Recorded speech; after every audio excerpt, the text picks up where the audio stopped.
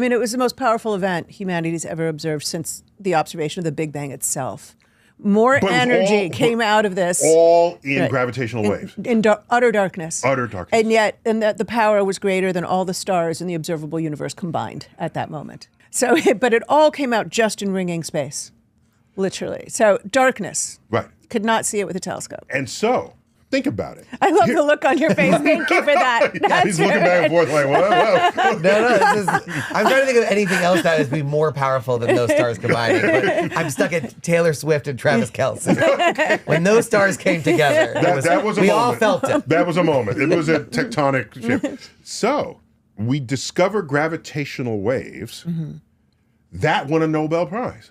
B- but more so, we discover gravitational waves using lasers. Oh.